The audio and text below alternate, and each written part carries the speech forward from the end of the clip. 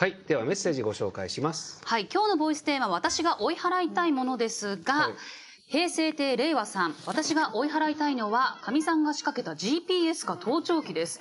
タイミングよく外で会えたり晩飯がやたら昼ご飯とかぶったりと見られている気が拭えません。えー、GPS? GPS か盗聴器。いやこれはねちょっとはっきりさせた方がいいような気もしますけどもね、ね、はい、ちょっとドキドキしますね、えー、はい。続いてもう一ついきます。ピロリーンぴょんぴょんさん私が追い払いたいもの旦那の度重なる嫌味小言を追い払いたいです、その一言それさえなければそこそこいい男なのにこれだけは厄払いをしても追い払えません。金子さん MX に時折現れるご主人様は嫌味などいうことはあるのでしょうか？うんと言ってるかもしれないんですけど私が気づいてないってことがよくあるかもしれないです。そういうこと言ってるんだよっていう後から言われてあそうなんだ。それは私に指摘してたんだって私は気づいてないだけかもしれない嫌味とかいうタイプではないですよね。優しそうなソフトなイメージありがとうございます。あります。えー、続いて、ジャスティン・ヒーハーさん、はい、たまに猫カフェに行くのですがどこの猫カフェに行ってもたくさんの猫が僕の足に群がってきます。足を洗っても靴を新しくしてもなぜか足が大人気です。猫は大好きですが少しだけ追い払いたいです、ちょっと嬉しそうですけど自慢でしょう。寄ってきてほしくないんですか？あのふわふわがね足をこう、ふわふわっていく感じってね、えー、もう本当に変え難いものがあるんで。寄って寄ってくる人来ない人って何かあるんですかね？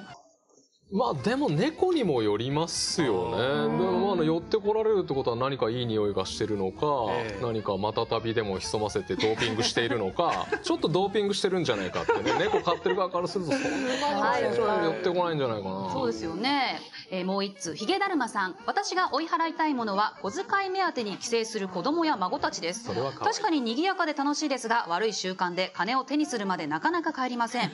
どうすればいいか誰か教えてもらえませんか？でもお正月だけでなく？小遣い目当てに帰省する子供や孫たち、えー、でも可愛いからあげちゃう、それも込みでね、なんかそれをもらうっていうことも込みでやっぱりおじさんに会いに行ってたりするじゃないですか、そんなね数百円でいいからくださいよってていう。追い払いたいの？でも、そっか。でも、私自分の両親が、あの、お金もらう、もうお金目当てに祖母の家とか行ってたんで、ちょっと 気持ちはなんかね、あんまりもらうことに慣れてほしくないなっていうのもありますけど。ありがとうございました。はい、この後はダンディーラッキーポイントです。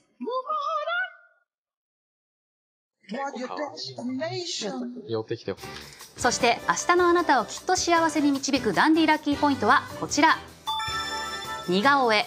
探し人を見つけるときは大きな似顔絵を描いて聞き込みをするとすぐに見つかるかも。まあ大きければいいってもんじゃないですよね。サイズじゃないですね。はい。でははい、ここで東京 MX からのお知らせです。東京 MX はゴールデンウィークに大型テレビをプレゼント。番組への感想を添えてホームページからどしどしご応募くださいその他豪華プレゼントもゴールデンウィークプレゼントキャンペーンは5月7日日曜日までです東京 MX ホームページからご応募ください、あのちょっと昭和風の映像がね素敵ですね演出なのかガチなのかわからない この曲の魅力ではあります。そうですね。素敵な魅力。はい、心配なところ。はい、マーベルの映像が。まだありますか？メッセージは。そうですね。はい、えー、ボイスメールいきたいと思います。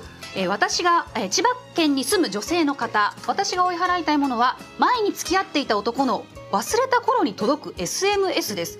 すべてブロックしているのに半年に1回くらい。元気ならそれでいい。月が綺麗だと声が聞きたくなるとおかしなポエムが入ってきます。半年に1回とはいえ追い払いたいです。逆に楽しんだ方がいいですねこれは。本当ですか、えー、逆に楽しんだ方がいいですよね。まあワンチャン狙ってるだけなんで、えー、はい。面白いですよ。はい、ではメッセージありますか番組そうですね、はい、浦安のサバ缶さん、はい、えー、ミスターフラッシュ毎週楽しみに見ています。お腹が緩くよくトイレに行く私には共感するところだらけのドラマです。いつ何時お腹が、えー、痛くなってもいいように日常の行動範囲のトイレはほとんど把握しています。あれ？昨日も浦安のサバ缶さんなんか読まれて、はい。あのー、同じ人たちでやってます、はい、あのー、さっき次で終わりなんですかね。ミスターフラッシュは、さっきなんか6話完結で今、えー今日は5話だった。ねえ。最終回？ねえ。まだ正直ね接し方がわからないうちにええ終わってしまうと。次のシーズン2がね。